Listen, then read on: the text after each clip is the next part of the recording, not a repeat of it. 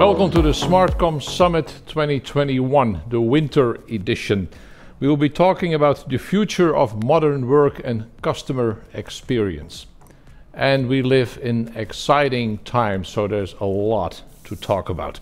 We will talk about modern work, customer engagement, we will be talking about leadership. Uh, and actually, uh, there's some interactivity as well. You guys can participate in this event uh, through Twitter, hashtag SmartCom21. Uh, we will be looking back on 18 months of Corona COVID pandemic. Uh, and we'll be talking to two representatives of uh, major companies uh, on my uh, right hand side, uh, representing Microsoft and Anywhere 365. And I'm joined on my left side by Rob Kurver. He's, in a way, the big initiator of these events and summits. Thank you for all the work you put in. Uh, let me introduce our, our two guests, and I'll, I'll start uh, with you, Enrico Karsten, uh, is the CEO of Anywhere 365. I, I was looking at your website, uh, and you are talking about uh, one of your uh, goals for your customers: reduce unnecessary dialogues as a kickoff. What is going on? Reduce unnecessary dialogues. Well, What's going on? To start off, this is a necessary dialogue. Uh, Thank you very much. a small correction because I'm, I'm the managing director of uh, Anywhere 365, so I don't want to, uh, you know, uh, take false claims over here because I've got someone else that does the CEO job for me. Uh, unnecessary dialogues. Yeah, uh, shall we believe that um, time is in essence the most valuable possession that we have as a collective in, within organizations? And, and we are here to, to, to make that time effort uh, focused on as many valuable uh, communications and activities for our customers and their customers. So we believe in reducing unnecessary activities or unnecessary dialogues in our specific space uh, to, to, to help them with this exercition and to make sure that we spend our time collectively on the right things. How we happen to make software that, uh, that, that, that enables them. And how often is communication or meetings, for example, dialogues unnecessary? Is that something that happens often or just every now and then? Well, I think uh, over the course of every service or, or service-focused organization, there are many unnecessary dialogues. When you when you look at the times that you yourself, in, in as a consumer, have to uh, dial an energy uh, uh manufacturer or whatever with information requests that you could already have via different channels, or you could maybe get a hold on via automatic digitalized uh, channels instead of just talking to people or reaching out to people who have very valuable time to do other stuff. Uh, I think that that represents our uh, our means of existence. Yeah. Yeah. And talking about necessary and maybe unnecessary dialogues, that brings me to our second guest, uh, Remco de Kramer with Microsoft. Uh, I was looking at your website and you talk, uh, of course, a lot about Microsoft Teams. And I quote Since its launch, Microsoft Teams has become the fastest growing app in Microsoft's history. Congratulations. How big is it now? Thank you. Yeah, I still remember the days, and that was not long ago. Uh, it was for COVID uh, that there were that there were um, 30 million eh, active users. Today, it's uh, 250 million active users. So we can safely say that Microsoft Teams has, has become uh, the new front end for work and customer engagement too. So, uh, well, that might be impressive numbers. What what I like the most is that the rate of innovation has accelerated exponentially too. That's what crises do, huh? Yeah, exactly, and that's what right. you see here. And of course, um, uh, during COVID, uh, the demands users put forth on uh, our product have risen as well, uh, with a shift to remote and hybrid work. So when you look at last year, in, in one year, we released 300 new features, for example, for Microsoft Teams. So the product is really adapting at a rapid pace to this new reality of hybrid work. But uh, before we came on live, we were talking about Microsoft Teams, and, and you said, and quote me if I, I don't quote you correctly, people should have less meetings. So, in other words, use Teams less. You're Absolutely. Microsoft. Yeah, I'm a big advocate for uh, that. That we stop the meeting madness. I think that is meeting madness out of control. Okay. Yeah. So when you look at a day, and um, there are um, uh, people have never been in uh, meetings more, uh, since um, uh, since the start of COVID. It has almost become synonymous with uh, remote work. And I think what's really important for people to thrive and also for companies to thrive is that they focused on the work that's most meaningful or most important for them. And they cannot do that when they don't have large chunks of uh, uninterrupted focus time. And meetings just gets in that way. And Because you would assume you would assume with using Teams or one of uh, uh, Zoom or whatever you want to use. I mean, you want them to use Teams, of course. I mean, you would assume you save a lot of time because you don't have to go actually to meetings. You have, don't have to jump in a car or a train and go somewhere, have a meeting, and go back. So you would assume uh, you save a lot of time, but actually. We don't because we have more meetings than ever. Well, but technology is only so great. Um, uh, it- the, um, uh, the benefit of technology depends on how it gets adopted. If we have a mentality that for every decision that needs to ma- be made or every update needing, we need to plan a meeting, um, then this technology will facilitate you, but you use the technology in a wrong way. So what we actually we would like is that people have less meetings and work more asynchronously uh, together. Um, I have a lot of examples for that, but uh, maybe that's uh, that's a bit too soon for now. But I think we need to find a way to balance synchronous work with asynchronous work. So working within a meeting and working outside of the meeting. But, but but but basically, we we lowered the barriers f- to have meetings. yeah. So a lot of Make people it so easy. So- Two touches to of a touch button. the button, in. just go into a meeting, and that uh, what I can see is that a lot of people just tap into a meeting to get something solved or to get their head around a big problem instead of thinking themselves there fir- first. And the second of it is that you call it meetings. Uh, using Teams is is like having a meeting. Well, peer-to-peer communications is just peer-to-peer communications, but over the, over the yeah over the use of Teams, we call it meetings, but we just have peer-to-peer communications as well. There's this old Just by viewing someone, it's not a meeting uh, necessarily. There's this old cartoon pre-pandemic that uh, says that uh, I didn't feel like working, so I organized a meeting. Yeah. Right, and there's a whole whole, whole collection of those. So, Yeah. so this concept of meetings as being the es- essence of work in some organizations is kind of special. But and now it's so easy to have an online meeting. I feel bored, so I'll and people feel efficient or feel productive in some organizations or Yeah. when their calendar is booked with meetings, right? So I like what you said about finding a balance. I think it's also a very personal balance that we need to find, and that makes it so complicated.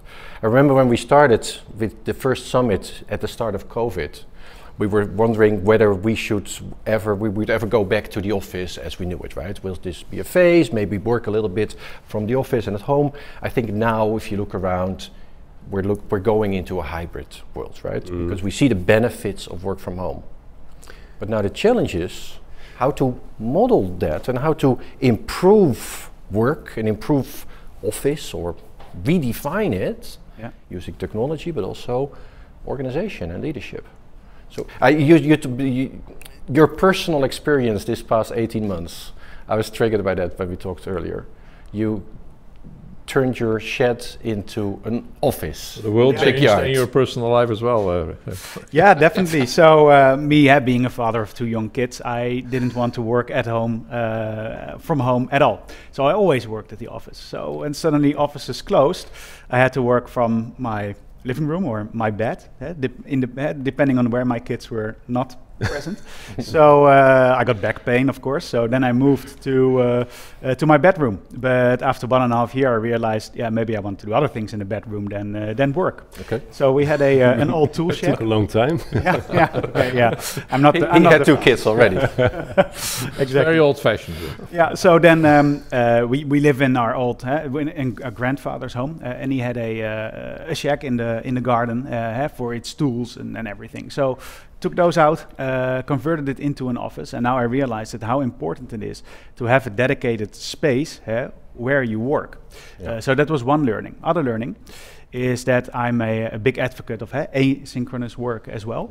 And we see that happening more often. Uh, we, uh, when I look at my colleagues, a lot of them are actually working in the evenings. Myself, I'm working for one and a half hour every evening, and I really like it that way. I wouldn't prefer it any other way. Is that also because you're an international organization, so in the evening you have your US contacts? Or is it also mostly the personal This is Uh, this is mapping old-fashioned uh, Yeah, I know. organizing it on, on- on what we are trying agree. to. Yeah, I agree. So that's what I'm asking. Yeah. So, so that so we were I was a, a bit used to it, but I didn't do it often. So now I do it every night, and the reason why I like it is that because I can stop uh, at four o'clock, play with my kids, or start working at ten o'clock, and then have an easy start with the family, and then going back to asynchronous work. Uh, I really judge uh, the meeting requests I have, and when it's an update meeting, I choose uh, not uh, to be there uh, physically present, but to watch back the recordings in the evening. And because I'm not going to spend my time on watching a one-hour recording, the, every meeting is transcribed nowadays, so I can search for the most Yeah. relevant part, and Yeah. I only watch back Yeah. yeah. that specific part, Specific and that part, yeah. saves me. So for one meeting, it can save me 50 minutes, Yeah. uh, and 50 the 50-minute bonus is nice, but I also consume it at a time um, when I More uh, convenient. Yeah, when Yeah. it's more convenient for me. And this is the technology, so that's actually helping you then to live or to work or to be more efficient, more effective at the same time. Yeah, exactly. And your work-life balance in more is more uh, in, in harmony uh, with Right. each other. but technology has a little stake in that, to my concern. Yeah. It's mostly It's about the I main think thing. the- this- no, the storyline that you do you started this question with is is like, man, I, re- I recall the paper that uh, Bill Gates wrote on the the modern work. Uh, so uh, the new world of work. 20 And years ago. Yeah, it's 20 years ago, and I'm almost ashamed that we are still on this table talking about the transition. Still on page one of the paper. yeah, well, well, well, we, yeah. So, um, of course, technology is, is an enabler in that space, but still, it's it's more the the uh, to be able to rely on responsibilities of people, to have uh, good goal settings if you want, and to be able to measure business progress and stuff like that, and to have, let's say, middle management trained on not managing people in terms of time spent, but more in terms of what they achieve Yeah. this is the biggest, I think, uh, um, challenge that we were facing and still are facing with these dynamics. So does that mean that you're changing now? I mean, you started at Anywhere 360 365 half a year ago. I Yeah. hate that 365 part. Anyway, Yeah, you started there half a year ago yeah, in the middle of the pandemic. yeah, Um, are you changing things around? yeah. Well, I think that the biggest learning for me overall during the whole COVID period related to work is my entrance uh, within the Anywhere 365 uh, organization because of um, it's almost unheard of how big a challenge it is to enter a company only online Yeah. And to have the, the the idea that it's all just the same. You can tap into uh, and reach out to everybody. Everybody's on your fingertips. You can have meetings and, and spend all the time you want. But still the element of being a cohesive company with some some sense of feeling and how it looks and how it feels in, uh, which offers uh, offers most of the time represents that feeling or represents that culture um, that's very difficult to to to yeah to to hold on to to Yeah. to really connect to people Because it, it's not only the Friday afternoon drinks and having fun, but but you know, it, it's water cooler talk or coffee machine talk. Yeah, but- I mean, yeah, you and run into people you wouldn't meet, or But it's also it's it's really I thought about this uh, two weeks ago when when uh, we had someone leaving the company uh, went to uh, uh, another company of course and I realized that in essence yeah, nothing changes. You know, he just opens the same laptop Mm-hmm. and suddenly he is part of a totally different business stream. But in essence, in his environment, nothing really changes. so. So I he's mean, still at the table at home. He still has an own laptop. He still has the same sounds. So there are two big elements here. Also, when it comes to customer experience, it, it's productivity and it's creativity, right? Mm. And you need them both in order to. I mean, it's, we're talking about thriving in challenging times. Um, your companies are doing great, but if you want to continue to thrive in challenging times, you need also creativity. Yeah, of You need innovation. Yeah. Uh, and how hard is it in times of Corona to stay on track when it comes to innovation, that Remco? Yeah, well, you have to keep getting better and better and better. So, so that is definitely a learning. eh? When we look back at how we worked in this crisis, eh, we all learned how to work from remote. People went above and beyond to eh, uh, to keep being productive. They succeeded. Eh? We, we've we've never been as productive as before.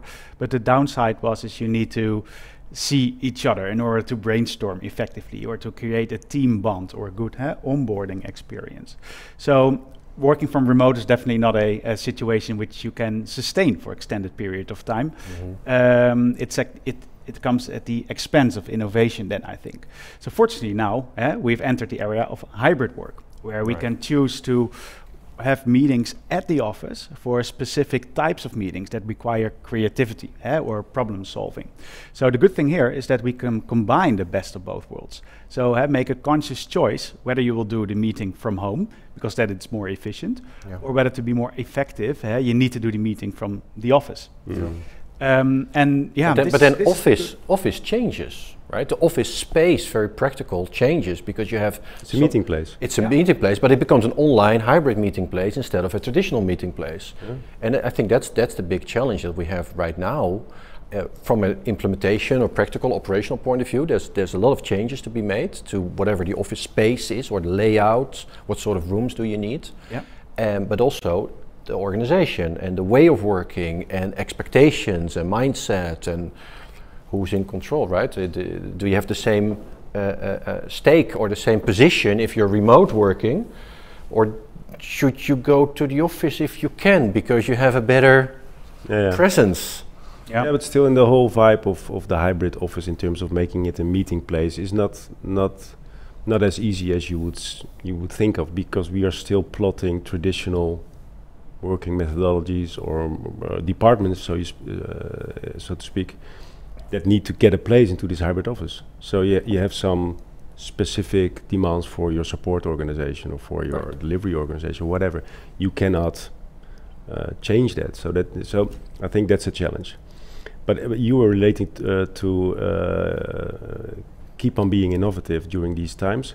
We are talking about we are referring to the fact that how we could work in terms of uh, innovation or what types of innovation are needed to help us go through these thriving times. Yeah, because also yeah, I, I hear people. Uh, you were uh, saying, you know, the meeting mania. Um, in Dutch, I hear very often the sentence: "Ik ben zo klaar met die online meetings. I'm done with meeting online. I want to yeah. meet people. I want to be with people. I'm done."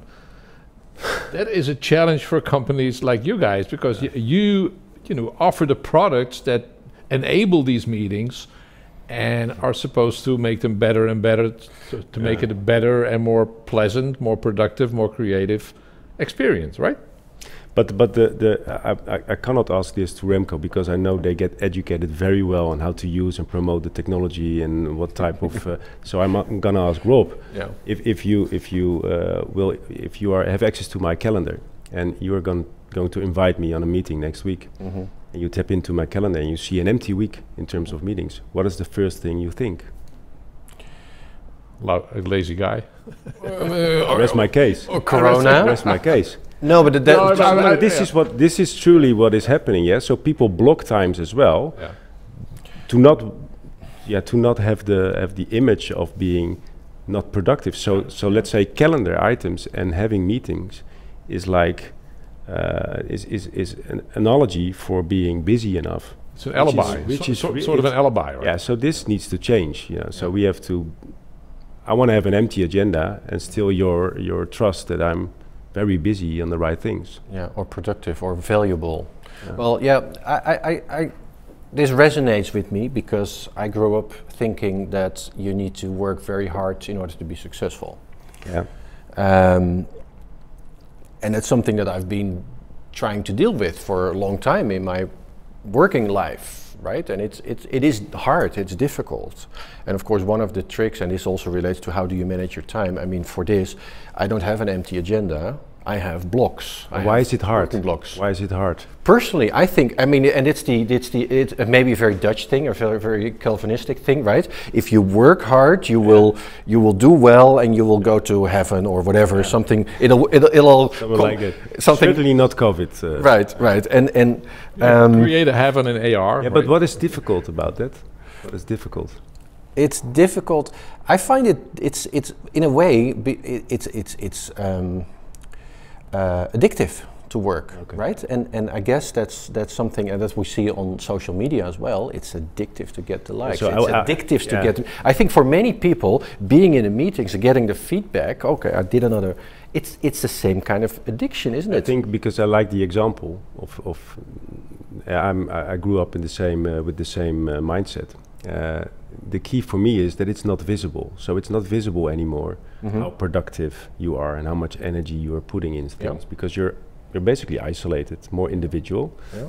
uh, and hence that, that's why I'm asking about the agenda. That's the only mean you have to show Yeah. that you're truly committed to doing. Well, and it's interesting. I mean, because you know, you know both worlds, right? The startup world, where you're focused on getting something uh, to produce very something, hard. work very hard, work very hard, but be, you're you're you're, you're Work working towards a goal, towards a goal, and the corporate life where it's more scheduled for you. Let's put it that way, right? Yeah, And, and, and yeah. you, you go with the flow. Unless you are at the absolute top, but everything else is. Well, and I, and I guess if you're, I think if you're at the top, you still your time gets managed because your PA will, Yeah, will okay. just make or arrange your calendar. So you you you you you live the, the company life. You've been in both of these worlds, Mhm. right? In the past twenty years, uh, as have I. Um, what's easier, or if you look at today's time, right? The change of COVID. Mhm. Are What we go- easier? Oh, sorry. easier? Are we going to, switch to, to, to some sort of blend of those two worlds, or are we going to the startup? I hope not. I would I would be very much in favor of going to le- well startup is is a is a buzzword as well, but startup scale up gives a sort of vibe that uh, lets creativity uh, uh, in. Uh, um, have the possibility to be innovative, have the possibility to to schedule your own achievements and, Yep. and, and work hard for it. I would say those are the elements that are very crucial for us to survive in the next coming decades. But then again, you know, I've I've been in a corporate as well, have not a lot of experience in it, only a couple of years, uh, but I've seen how that works as well. So it works. I don't understand it, but it works. Uh, so it's a big machine. You put Yeah. something in, and it does what it does, and then the same uh, uh, the same asset comes out of it. And how's it, how's that at Microsoft? Because I, I, I, admire Microsoft in that sense because you've been, I mean, on this modern work for 20 years or so since Bill Gates wrote that paper. Um, it is actually, I mean, you had an, an, you're an example uh, of a workplace years ago, right? So very modern and little couches and little rooms and everything. And so and you're living this life Great YouTube clips, I remember. Um, all that Yeah. and it's and, and you're living there and so and it is a corporate i know it's an american corporate right with the goals and and and, and everything and the proc- procedures and at the same time there is this culture of of, of innovation and and um, personal responsibility and leadership so how how how is that done Well, it's the first is what's happening today eh, is nothing new for Microsoft. That a transition and it, the different way of how we work. The only thing that's different is that it's being adopted on a massive scale right now. And um, we are eh, in, in, in different circumstances. And what you said triggered me um, that it's hard for people to know what you're doing and that you have to trust that somebody is actually uh, doing their work. We have a saying at Microsoft is eh, work out loud. So let people know what you're doing because you're missing this physical contact. You actually have to um, uh, compensate for that and let other people know what you're doing. Give them a chance to contribute to what you are doing eh, and make it a, a shared goal or project, for example. So I think this, uh, and that is the most challenging thing, is that when we want to make a successful transition to hybrid work, we really need to change the way eh, that we're working. We need new rituals. Uh, how we work. And for example, one is eh, work out loud, let other people know what you're doing, and give them a chance to contribute to your work. yeah But you, you, it's not really fair eh, because you asked this question to uh, to Remco and r- represents a company that has innovation, tech innovation, at the core of its existence. So, I would say that if you take another example of an enterprise or a corporate organization and ask them the same question, you get totally different Mhm. answer. Yeah.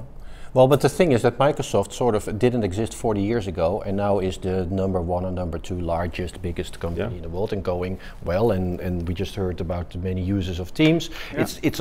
well, And in the tech world, it's one of the oldies, Microsoft. Yeah. Well, it- Because it's- they've been a long way more but than apparently, apparently you're doing something right. Yeah. Something's working there, right? And, and and you could say that for many tech, I, I think that's intriguing. Many of the high-tech software companies are now leading in their space, and they've grown from nothing to big. They're doing something right, and I think that's interesting. What's the learnings for other organizations? Uh, and you can go, well, it's a growth mindset and a this and a that. But I'm looking for. You just mentioned something very simple: work out loud. Yeah. Is there a simple list? Is there a cookbook? Is there, a chip- playbook? Is there a chip? Is there- something? is there a chip? there Is there- is something there- that we can absorb? I think uh, one one part, one reason for the success is that you need to build um, uh, solutions that are flexible uh, to everybody's work style, so that can cater to the individual work style uh, everybody has. Mhm. Um, and um, that is what, uh, for example, Microsoft Teams is, is doing. It doesn't matter where you work or how you work. S- The software is, is flexible enough, and uh, so you can use it. For example, have meetings, um, uh, not uh, have, have physical meetings. Try to find each other. Use Yeah. Teams for that. Okay. Have remote meetings. So you're saying that hybrid. Teams, so that you're, you're putting some of the knowledge and experience of, of, of, of how Microsoft works and is successful, you're trying to put that more into the, let's say, the Teams platform and ecosystem as we go along? Yeah, definitely. So everybody can become more like Microsoft in their way of working? Or but- No, but you I need a lot of flexibility because every you know as company is well, different. you know as You well that the the- technology and the way they adopt it is not the problem. The real problem here is I love the way Remco proposes this because I, in essence I would I would want everybody to work like this. Show uh, work out loud, not necessarily because I I want to make sure that you're doing the right things, but just to to be connected on the topics that that matter to you. Yeah. But then again, please facilitate the people that need to work out loud because they they don't they have the means and the tooling now. Yeah. But that doesn't mean that they know how to do this in terms of timing, what they share, how they react on it, and there y- there are examples enough of people that work out loud and get responses of what they are doing and have 24 hours a day absorbed in re- responding to responses, and they're at home uh, one day not feeling very well. Let's talk in, in the final minutes of, of this segment, uh, looking a little further into the future, maybe a little bit of a crystal ball. Um, and it's not just about what features should we add to Teams or other software in the next half, six months or two years or something. A little further down the road, I mean, you guys must be thinking about it. Is that virtual reality? Is it augmented reality? Is it more AI, artificial intelligence? What are we talking about when you talk about Teams 2025? I don't know. Well, What, what's the what's the direction of, of thinking in, in your innovative departments? we're exploring eh, multiple course, uh, yeah. options here. And um, one interesting concept is that you can meet in what we call the metaverse, eh, that there is a virtual space eh, where you can come together, either see each other physically or via avatars, interact with each other. But then the nice thing is, you look the other way, you see a group having a meeting there, there's a PowerPoint presentation on a virtual wall, you go there and you're in that meeting. So that's one space eh, we explore. Very scary space. Very scary space. Yeah, personally, I'm, uh, I'm I'm experimenting with it. I have the gear at home. Uh, Yeah, you do? Really? Yeah, I do. Yeah. It's um, I don't know uh, what I the don't sta- see I don't- myself I don't using know what it. the status is of the metaverse uh, testing. Then, so what type of environment are you using for that? It's a, it's an internal development. Okay. Yeah, okay. yeah. So um, I'm exploring it. Personally, I don't see myself having the majority of meetings in, in the metaverse. Okay. Now, then there's another technology. It's called augmented reality, and that's where you have your glasses on, and then a, a additional layer of uh, reality is, is played eh, on top of the physical Yeah, reality. right. So that's an interesting scenario, especially for um, niche markets. For example, remote advisor applications. So where everybody's in a Teams meeting, but there's a situation going on. Uh, for example, some part of equipment is broken. Somebody needs to go there. They put on their Hololens. Everybody can see what they see and support them. For example, drawing lines on eh, which, bu- which button he has to push. This is already the case. Eh? It's already the case, but the thing here is it's not massively adopted. So Uh. I see that technology being Mm. adopted more broadly before, for example, meeting in the metaverse. Is uh, You, you said metaverse. Is, oh, scary. What's scary about it? Well, scary is the the uh, is the the way that that will push us. I don't want to be all dark and all uh, uh, into the the the what is it called again? The the the, the sequence of of sapiens tapping into the AR world and having. Mm. I, th- the scary thing about metaverse for me is that we are.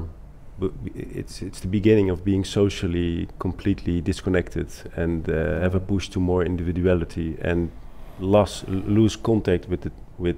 Uh, we- we started this meeting about uh, physical contact and the lack of physical contact during COVID and what it means in the vibe and connection of people. But isn't that a very old-fashioned way of thinking? I mean, Yeah, ev- it is. Every It is. single still technological transition, you know, we hear the same stories. I mean, this is going to be the end of the world. It's going to spoil No, our no, no. kids. and blah, blah, blah. I, I mean, are you not very? Con- But what I is mean, the- what is the- to be I am. progressive instead of so conservative. No, no. So, so okay. So, maybe is it conservative Maybe. to to see to see uh, some s- danger? some- yeah.